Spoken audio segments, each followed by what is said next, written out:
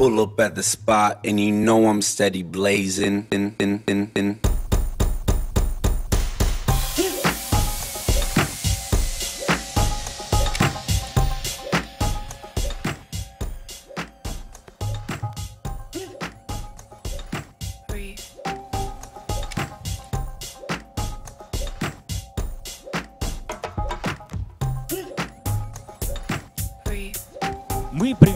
Всех зрителей на трансляции в YouTube и ВКонтакте. Добро пожаловать на пресс-конференцию Team Spirit. Сегодня мы зададим героям наши вопросы. Так, собственно, и встречайте их на нашей сцене. Team Spirit! Победители The International 10. Сейчас небольшой фотомомент. Пожалуйста, ребята, улыбнитесь фотокамерам, покажите свою радость от победы. Дайте э, всем масс-медиа запечатлеть вас, и давайте это будет действительно памятный момент и для вас тоже. Я думаю, что ребята не часто участвовали в подобных пресс-конференциях и не часто сталкивались с таким вниманием, а, поэтому, уважаемые медиа, ловите тот самый кадр. Ну что же, Team Spirit, пожалуйста, проходите за стол, располагайтесь. У вас в наличии 4 микрофона, которые вы будете использовать в процессе нашей дискуссии. Ну, а начнется она с вопросов от меня, от модератора. Добрый день, меня зовут Дмитрий. Очень приятно, коллеги. Команда располагается, и сегодня предполагается, что в теме сегодняшнего дня не хотелось бы часто слышать вопросы, которые уже были освещены во многих масс-медиа, и не хотелось бы часто дублироваться. Поэтому э, прошу учесть представителей, э, и журнали... представителей масс-медиа и журналистов, что некоторые вопросы э, мы ввиду вторичности можем пропустить. А, Итак, наши герои на своих местах, они готовы отвечать на вопрос. А, И, собственно, давайте, э, с учетом того, что в этом зале присутствуют не только профильные киберспортивные СМИ, но и СМИ, которые в данный момент изучают киберспорт, построим нашу беседу на легком и простом разговоре в первые минуты. И первый вопрос будет звучать очень просто. Ребята, расскажите простым и понятным языком, что же случилось и почему мы здесь собрались. Слово передается менеджменту команды э, в лице Корбана Дмитрия Белова. Здравствуйте. Наверное, я проще всего отвечу на вопрос от я, и я проведу параллель с традиционным спортом. Вероятно, нашу победу на The International 10 можно сравнить с победой российского клуба в Лиге чемпионов. Единственное, что это просто другая категория спорта, но с точки зрения масштаба, с точки зрения именно структуры турнира, это больше всего похоже именно на Лигу чемпионов. Я думаю, что этот ответ помогает полностью понять картину произошедшего. И давайте теперь тогда поговорим о пути вашем на этот турнир, на The International. Как вы попали на этот мировой турнир и с какими сложностями по пути столкнулась команда? Я бы хотел, чтобы на этот вопрос ответил тренер нашего коллектива Айрат Газиев. Так, да, всем здравствуйте. Рад, что все здесь сегодня собрались. Попали мы благодаря тому, что выиграли квалификацию от Восточной Европы. Мы оказались сильнейшей командой, выиграли квалификацию и, соответственно, прошли на турнир. А с какими трудностями мы со- собрали, э, столкнулись? Наверное, вот эти квалификации были основной трудностью, потому что мы играли их после изнурительного буткемпа. Э, В связи с коронавирусом мы находились в закрытом пространстве, только тренировались, ни на что больше не отвлекались. Затем поехали на мейджор в Киев, играли его, и у нас буквально было там одна неделя перерыва, и очень быстро начинались квалификации. Мы были, честно говоря, истощены, в очень плохой форме, и нам нужно было преодолевать себя, играть на каких-то уже э, сверхмеры, на морально-волевых, скажем так. И вот поэтому не показали свои лучшие игры на квалификациях, но хорошо, что вот преодолели это и смогли пройти. И действительно хорошо, ведь смогли получить чемпионский титул. А, Да, действительно, давайте чуть подробнее расскажем об этом турнире. В нем представлено 6 регионов. Среди них Северная Америка, Южная Америка, Западная и Восточная Европа, Юго-Восточная Азия и Китай. Вопрос команде. Чем отличаются эти регионы и в каком статусе наш регион подходил к этому турниру? На вопрос, как я вижу, ответит э, капитан команды Ярослав, Ярослав Найденов, он же Мипошка. Да, приветствую всех. В первую очередь, наверное, хочу сказать, что наша команда являлась аутсайдером этого турнира. То есть ну, мы были такими некими андердогами, нас не особо кто-то верил. А, Наверное, самым сильным регионом это был Китай, там присутствовало пять команд, если не ошибаюсь, и все они выглядели довольно серьезными оппонентами. Вот. По поводу евро- европейских команд, от них не очень многого ждали, но по итогу они оказались сильнее, чем многие думали по поводу азиатских команд. Ну, тоже, наверное, такой, типа, ну, короче, в основном все думали, что Китай победит, и это явный фаворит этого турнира. Вот, и для всех это, наверное, такой нонсенс, что выиграла команда СНГ региона. Что там еще в вопросе было? Я думаю, что, Ярослав, ты на все плюс-минус ответил, ты выделил фаворитов и сказал, в каком статусе вы подходили. Но в целом, давай добавим, что наш регион э, не всегда успешно выступал на этих соревнованиях, и, э, пожалуй, ваша победа вызвала фурор. Ну, э, действительно, какая, еще может быть причина того, что мы все вместе находимся здесь? Пойдем дальше по вопросам небольшим, установочным. И если Ярослав уже успел побывать до этого на The International, то большая часть команды приехала на турнир в первый раз. И хотелось бы задать вопрос кому-нибудь из ребят, как они оценивают масштаб того, что они увидели, как они оценивают свои эмоции от The International. Я бы очень хотел, чтобы на этот вопрос ответил э, второй менеджер нашего состава, лучший менеджер Руслан Аберест. Добрый день. Ну, Могу сказать, что этот турнир, он в этом году был юбилейным, десятым турниром. Последний раз, первый и последний раз перед нами его выиграла команда из СНГ. Это был первый турнир International 1, его выиграли команда Нави. И так совпало, что десятый юбилейный турнир выиграла наша команда. Даже несмотря на отсутствие зрителей, э, атмосфера этого турнира была невероятная. Я была на многих турнирах, это несравнимо ни с чем, просто не передать те эмоции, которые мы испытывали. И мы действительно чувствовали всю ту удаленную поддержку, которую нам оказывала наша комьюнити. Спасибо. Давайте пойдем сразу же дальше. Я думаю, что ребята еще смогут ответить на вопросы от представителей СМИ, которые э, здесь собрались по поводу эмоций в определенные моменты этого турнира, э, по поводу их прохода в турнирной сетке. А мой вопрос эм, звучит следующим образом. Э, Хотелось бы узнать, кто еще причастен к успеху команды, помимо тех игроков, которые присутствовали в игровой будке, в той самой, в которой есть звукоизоляция, для того, чтобы не слышать трибуны, которых, к сожалению, на этом The International не было. Хотелось бы подробнее раскрыть э, роли тренера, психолога и менеджеров. Саша Хертек, ответь, пожалуйста, на этот вопрос.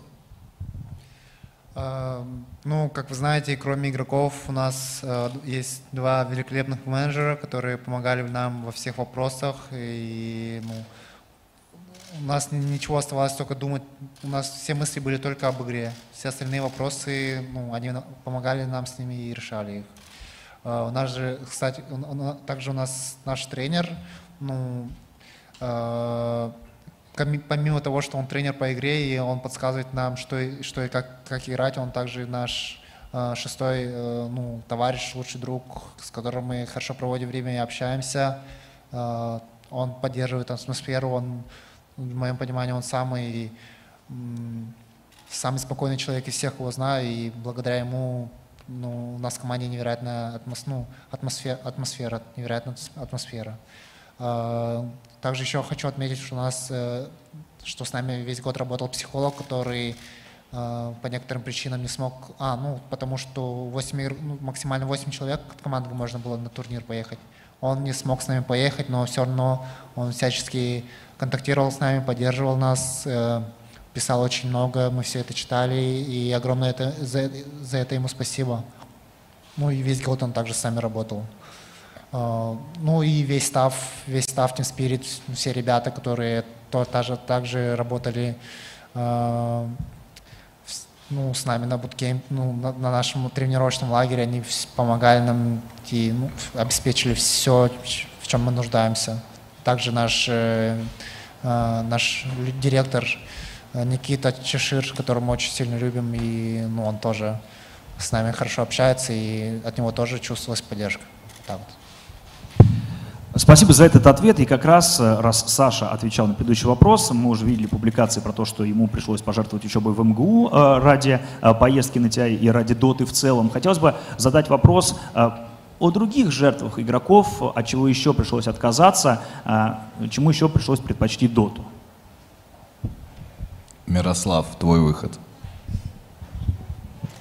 Э, Ну, скорее всего, в первую очередь нужно сказать, что мы все по большей части отказались от э, полноценной, э, м, полноценной вот личной жизни. То есть мы, мы очень много времени проводили на нашей базе, чтобы подготовиться к э, лигам, к турниру.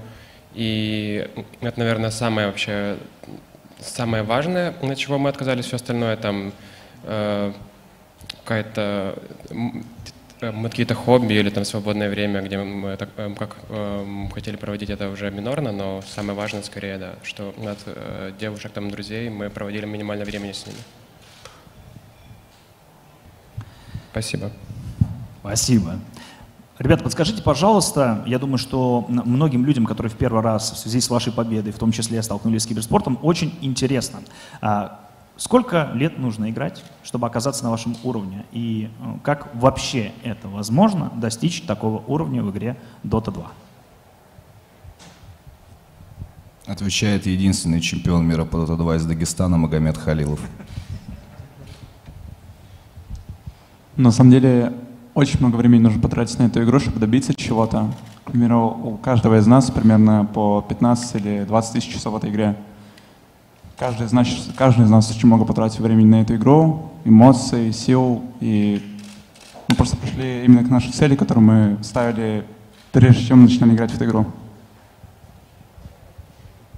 Я думаю, что ответ примерно понятен. Э, 20 тысяч часов э, вы можете перевести э, в сутки, э, затем оценить, сколько это недель и месяцев, и вы поймете, насколько э, ребята вкладывались в эту игру, чтобы показать тот уровень исполнения, который они продемонстрировали на состоявшемся турнире.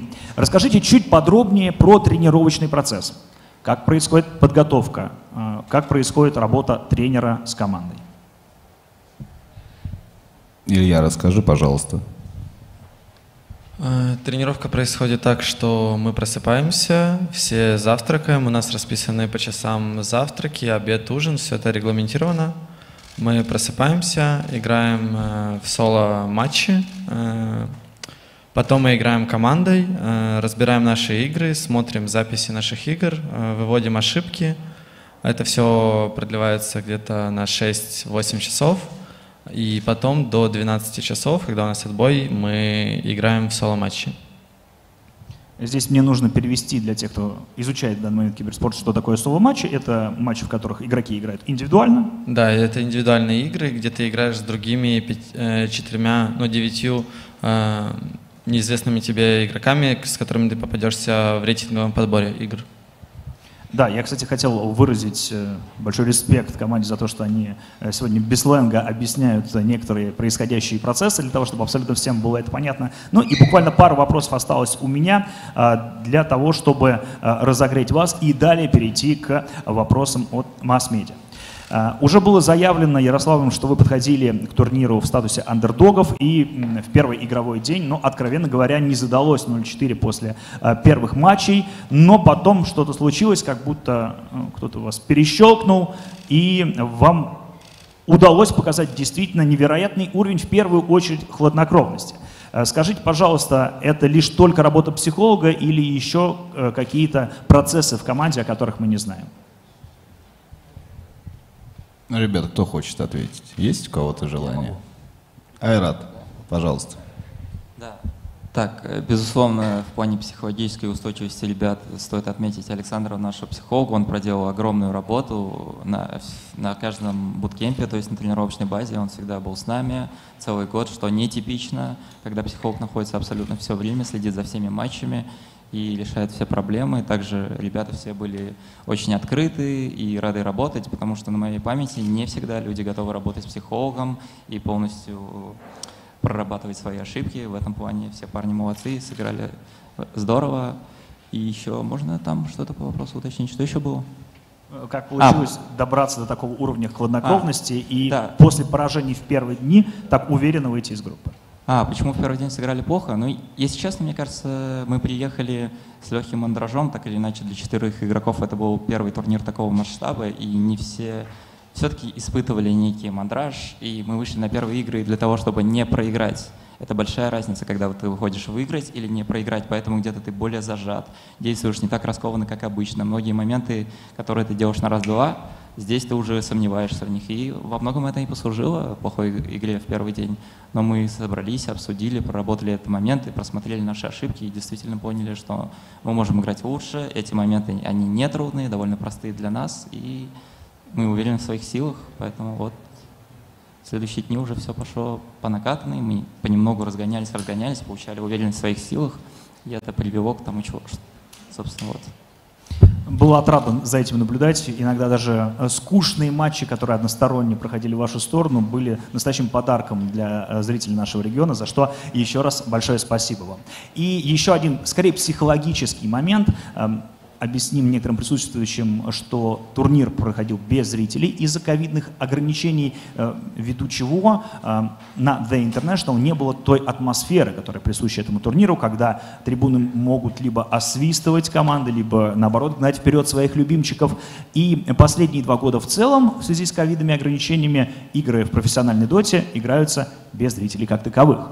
Как вы думаете, если бы вдруг вы в, э, в таком состоянии, многие в первый раз на The International приехали бы и столкнулись, особенно с китайскими трибунами в гранд-финале, был ли бы другой результат? На этот вопрос ответит кто-то из игроков, но я скажу, что, по моему мнению, без зрителей играть намного сложнее, чем со зрителями, потому что эмоции, которые ты отдаешь в игре и которые ты отдаешь в экран, на трансляцию, они тебе не возвращаются, потому что нет зрителей. Когда есть зрители, ты выходишь из кабинки, и ты возвращаешь свою энергию себе обратно, потому что они кричат, ты это чувствуешь, это совершенно другая атмосфера, при этом сам турнир проходил на футбольном стадионе, а как мы все знаем, архитектура футбольных стадионов, она построена именно под зрителей. Там эхо, все остальное, вот это вот замечательное и прочее. Но, наверное, мне кажется, с лучшей статью игроков, потому что они непосредственно участники этого действия. Поэтому, Александр, скажи нам, пожалуйста. Э, насчет зрителей на, на этом турнире, на этой арене так, была, так назва, ну, был так называемый фейк-звук зрителей.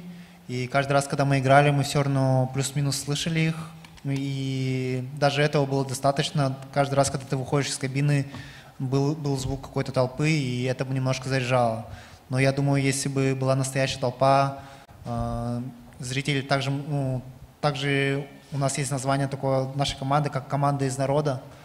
Поэтому очень многие люди за нас болеют. Я уверен, что если бы после, каждого, после каждой победы мы выходили и э, нам кричали люди, ну, за нас топили бы люди, мы, мы бы просто заряжались еще больше энергии.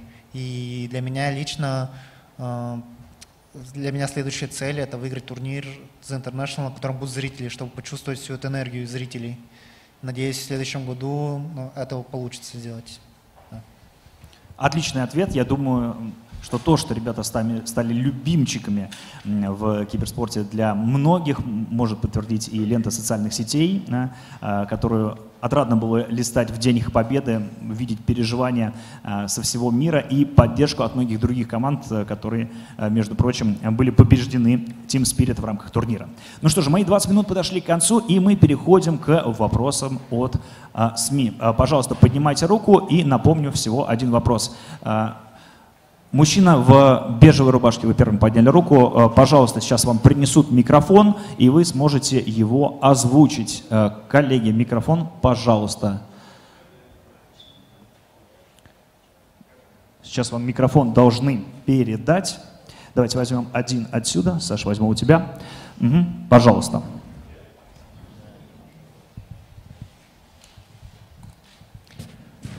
Матч ТВ, телекомпания, Захар зовут меня. Извините, может быть, банальный вопрос. Я просто хотел спросить, что вы чувствуете сейчас, потому что вы э, сами отчасти сравнили свою победу с победой клуба в Лиге чемпионов футбольного. Здесь э, коллеги, может быть, поправят, но мне кажется, больше прессы, чем на, ну, не знаю, на многих, перед многими Лига чемпионскими матчами, да, А, в том числе здесь те, кто за вами там не следил, не наблюдал, не общался а, до победы. Может быть, э, ну, не знаю, что это, шок, восторг, может быть, вам неприятно.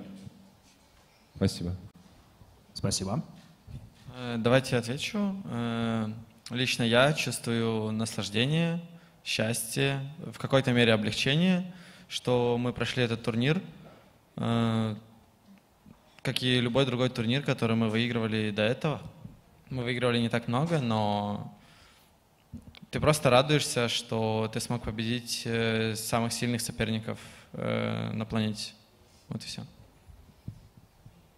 Я думаю, что все остальные члены команды разделяют эту точку зрения. Вот, пожалуйста, вторая рука была там. А мужчина в черной толстовке, пожалуйста, туда микрофон. Далее уйдем в левую часть зала. Коллеги, здрасте. Павел, студия киберспортивных трансляций «Рухаб». Подскажите, пожалуйста, э, победа СНГ последний раз на таком турнире была 10 лет назад. Э, Для вашей команды, в принципе, понятно, что это значит. Что это может значить для СНГ региона в этой киберспортивной дисциплине в целом? Спасибо. Кто ответит на вопрос? Ярослав, видимо, просит вас. А можно еще раз, пожалуйста, повторить?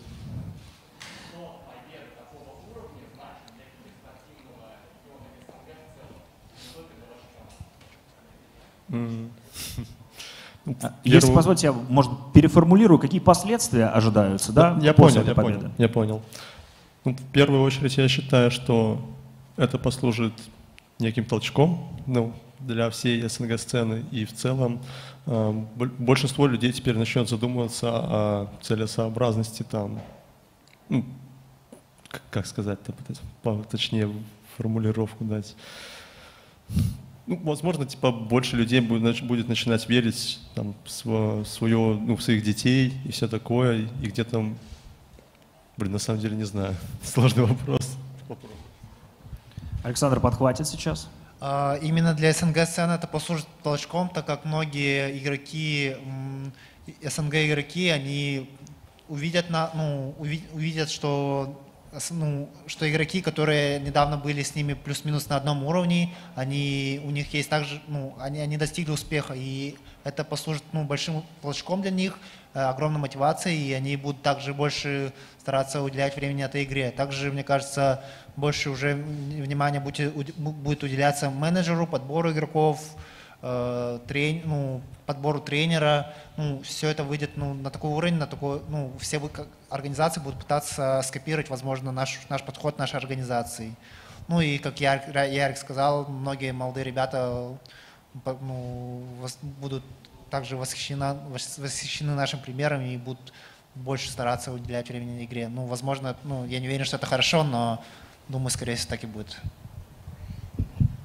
Дмитрий, добавите что-то? Я, да, я хотел добавить еще, что, возможно, к СНГ региону теперь будет уделять компания-разработчик больше внимания, потому что иногда его не хватает. Ну и, как уже сказал Александр, наша история Золушки, возможно, замотивирует кого-то из молодых ребят, вот, и решит, возможно, какие-то проблемы, потому что взрослые люди у нас зачастую считают, что это все несерьезно, но если бы кто-то из вас посмотрел в разрезе на тренировочную, например, процесс, да, как есть тренировочные сборы у классических традиционных спортсменов, и на тренировочный сбор, например, нашей команды, вы бы не увидели никаких отличий, абсолютно никаких.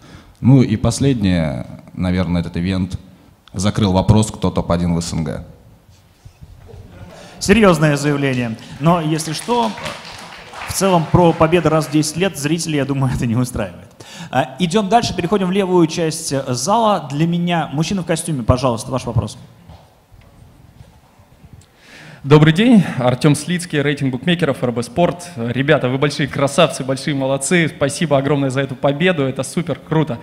А, Такой вопрос, хотелось бы развить а, тему жертв, которые пришлось принести ради этой победы. А, Вопрос к Яторо, я знаю, что пришлось пожертвовать волосы богу войны. Расскажите об этом поподробнее, пожалуйста, и может быть еще какие-то случаи были.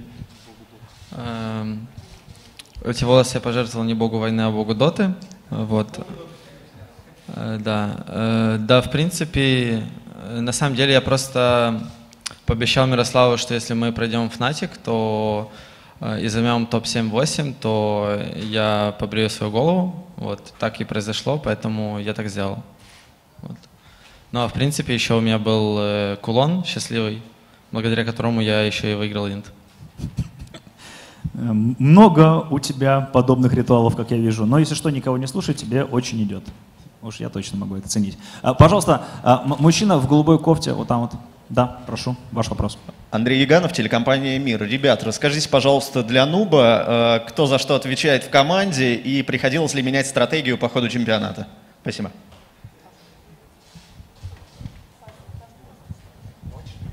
Я думаю, по очереди наши игроки ответят, чтобы рассказать А, про свои позиции. Давайте так, ну, я начну. Я игрок центральной линии. На мне лежит, ну, на мне лежат задачи ранних перемещений и ну, именно больше ранней игры и также иметь и также продолжать стараться продолжать ну, иметь вес в игре в, в- середине и в, и в, лейт, в, лей- в лейте. Ну и быть сильным, просто вот быть сильным героем на карте. Вот, как-то так, наверное. Ну и также мои обязанности входит э, производить колы, это реш- командные решения, м, ну, как сказать? Предлагать действия для команды. Предлагать, да, предлагать именно вот действия для команды в какие-то различные моменты игры. Если что, э, дайте ребятам возможность собраться с мыслями. Ответ на этот вопрос становится сложным, когда убираешь весь сленг киберспортсмена. Э, Да, я играю на керри, можно сказать, первой позиции. Да, Э, на моем герое сфокусировано больше всего золото э, в игре. И мой герой, ну, моя позиция больше, большей степени подключается уже ближе к 25-й минуте игры, 20-й, и дальше он становится все сильнее и сильнее. Вот. э, Что входит в обязанности моего героя, это плюс-минус вести игру уже на поздних стадиях игры, потому что мой герой э, слабый на начале. Вот, примерно так. Э, Я играю на позиции 4. Это поддержка, но не полная. Э, То есть э, я, в принципе, обязан обеспечить вот хорошую игру своему, своей позиции 3. Это я должен за секьюрит линию, я должен сделать так, чтобы он видел э, подходы к нам, то есть я должен э, обеспечить э, на вот карте э, какой-то э, обзор, чтобы мы понимали, что вообще и как происходит. Э, И также зависимо э, от героя я, могу иметь вот функции спасти кого-то или напасть, это уже будет зависеть от того, на ком я буду играть. Как-то так. Э, Моя позиция это 5, полная поддержка. Я стараюсь максимально передавать все свои ресурсы для моей команды, то есть для каждого из своих игроков. То есть жертвую всем, что у меня есть, для того, чтобы у них была как можно комфортнее игра. А, Со старта я обычно нахожусь на линии со своим кэрри, это позиция 1, то есть с Ильей, и стараюсь делать максимально все для того, чтобы его линия была максимально комфортной. Также я являюсь капитаном в этой команде, но не то чтобы я какой-то ярко выраженный капитан. В основном я, наверное, тот человек, который, типа, если скажет нет, то это будет нет. Но любой человек может сказать, типа, давайте сделаем вот это или это, и я могу, ну, я также могу сказать, типа, ну да, давайте. Но как бы сказать, ну, в общем, у нас все люди стараются по мере своих возможностей что-то предлагать. То есть не так, что я один единственный, кого все слушают, и от- ну, нет такого, что от меня все ждут, что я скажу, так и будет. Вот. Ярослав, скажем так, у тебя есть право вето на предлагаемые командные решения. Типа, типа того, да. Вот. В общем, я водонос в команде. Идем дальше к позиции 3. Магомед. Моя, моя позиция 3, offlaner, она заключается в том, на сложной линии стою. Она заключается в том, то, что мне нужно максимально испортить ситуацию в игре на, ну, в ранней игре вражескому carry игроку, чтобы мой керри игрок мог выиграть игру. Также моя задача по игре заключается в том, э, на самом деле зависит еще от героя. Я либо инициирую драки в игре и выигрываю игру, либо просто собираю различные командные артефакты, чтобы поддержать свою команду и чтобы мы все вместе просто выиграли, скажем так. В этом-то и все. Ну и попросим тренера команды еще дополнить немного о выборе героев, ну бу- буквально в двух Я предложениях. бы резюмировал всех ребят на более простой такой спортивный язык, попробовал перевести аналогию, так скажем, на футбол, если возможно, вот как-то так. Александр с прекрасной прической, самый крайний парень, это в каком-то смысле плеймейкер команды, ко- который многие взаимодействуют с- именно с ним, какие-то действия в игре вот именно через плеймейкера, через него идут. Илья не с не менее прекрасной прической парень, это, так скажем, нападающий команды. Мы подразумевается, что мы создаем в игре все условия, оставляем ему на- наибольшее количество золота и пространства, пытаемся его защитить, чтобы он забил тот самый гол. Он на острие атаки, если можно так выразиться. Вот. Мирослав — это в каком-то смысле центральный полузащитник либо опорник, и тут он должен очень чу- хорошо чувствовать грань и вариативность свою, что очень хорошо, он очень вариативен. Где-то ты должен сыграть больше от обороны, а где-то от атаки, где-то просто прикрывать, а где-то больше созидать в игре. В чем это заключается? Прикрывать своих, э, быть щитом для Ильи того же на карте или создавать какие-то моменты, больше оказывать прессинга на, соответственно, оппонента. Так, следующий у нас идет Ярослав. Но это чистый центральный защитник, который стоит сзади, всем кричат «вышли», там, и вот это вот все, всех ругает и почищает за всеми все, вот как-то так во многом. И Магомед, Магомед, пожалуй, вингер, очень большой объем работы и в нашей команде, и вообще от него требуется, чтобы он был и в защите, и- и в нападении, вот как-то так, пожалуй. И по Айрат, большое поводу- спасибо. Мне кажется, ты все очень понятно объяснил. И теперь э, люди, которые в доту ни разу не играли, могут спокойно ее запускать и играть в первые матчи. Если хочешь, в двух предложениях о выборе героев перед матчем. А, Можно да, добавить. я могу сказать про выбор героев, там было что-то про стратегию. На к- каждому матчу мы подходим индивидуально на основе выборки э, героев врага, мы их смотрим, анализируем, то, что они делают в игре, каких героев выбирают, и мы, конечно, ориентируемся на свой пол героев, на тех героев, которыми мы хорошо играем, и пытаемся подобрать наиболее эффективных героев против героев врага, продумать это заранее. Но, разумеется, враг делает то же самое, оппонент. И не всегда получается получить максимально комфортных героев на стадии выбора драфта. На, ста- на стадии выбора героев это э, непосредственно происхо- происходит прямо перед игрой. У тебя есть ограниченное время, где нужно за каких-то героев запретить, каких-то выбрать. Такая что-то вроде шахмат в этот момент происходит. Вот. И как-то, наверное, это больше моя зона ответственности. Вот. Да, Айрат, спасибо. Э, Идем дальше по вопросам. А, а, Мужчина с красными буквами на серой футболке, пожалуйста. Да, вы задавайте вопрос. Здравствуйте, Васильев Сергей, э, редакция Канобу. О, После победы, скажите, вот, после возникшей популярности, поступали ли какие-нибудь э, предложения, какие-нибудь рекламодатели, может быть, вам предлагали какие-нибудь контракты, может, были попытки переманить другую команду? Ну или как вообще поменялась э, ваша жизнь после вот такой вот неожиданной, я думаю, для многих победы?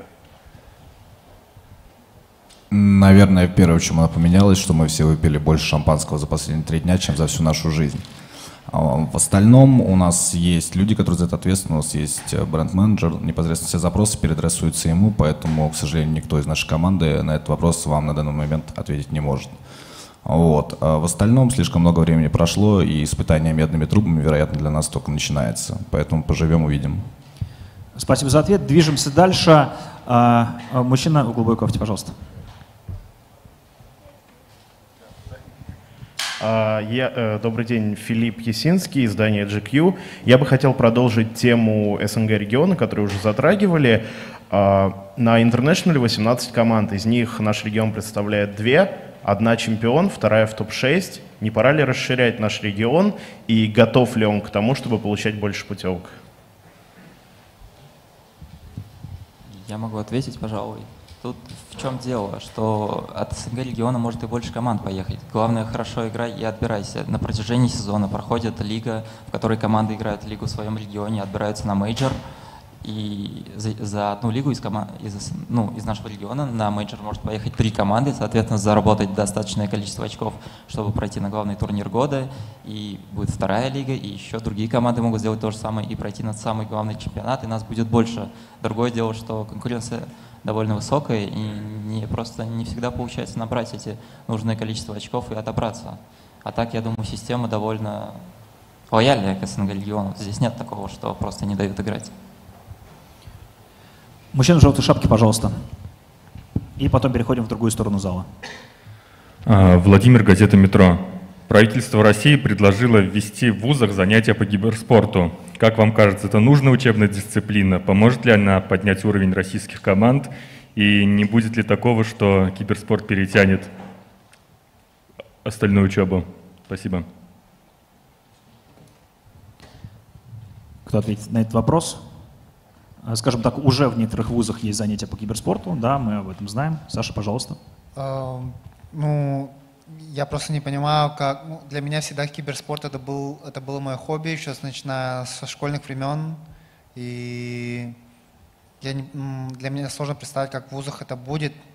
А, Мне кажется, все равно ребятам будет всегда удобнее играть дома. И если у них есть свободное время от учебы, ну, мне, мне кажется, все равно лучше играть дома.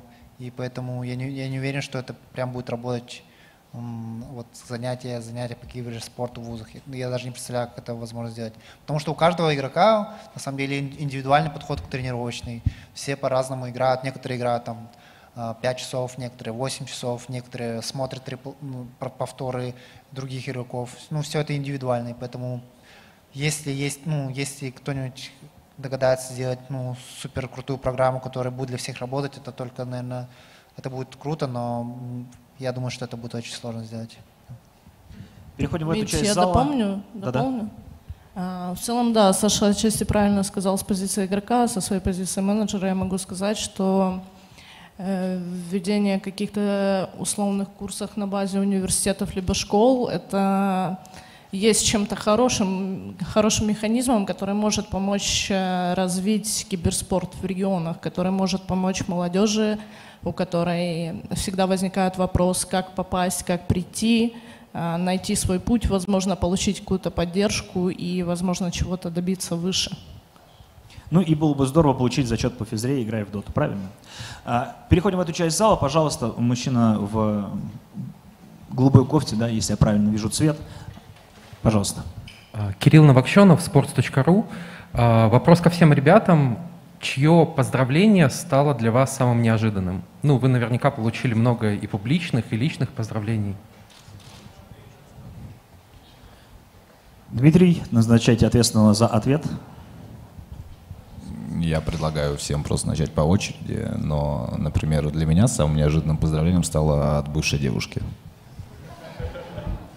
Ну, пожалуй, я отвечу. Очень, да, на самом деле, очень много неожиданных предложений, поздравлений было, потому что я предполагал, что будет что-то очень здорово, если мы выиграем, но мне кажется, это уже переходит в некий такой масштаб, все растет и растет, даже до каких-то... Не, я не ожидал, что это дойдет до того масштаба, что будут первые лица страны поздравлять, и многие спортсмены, и так много заинтересованных людей, оказывается, и мне лично звонили кто-то.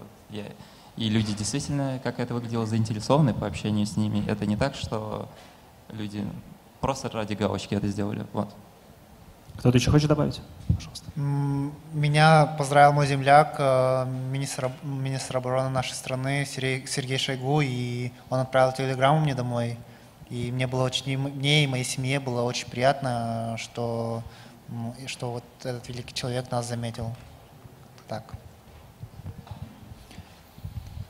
Ну, я могу сказать, что меня очень много поздравило людей из моего родного города, э, моих одноклассников, э, подруг, с которыми я учился. Э, В принципе, это очень приятно на самом деле. Да.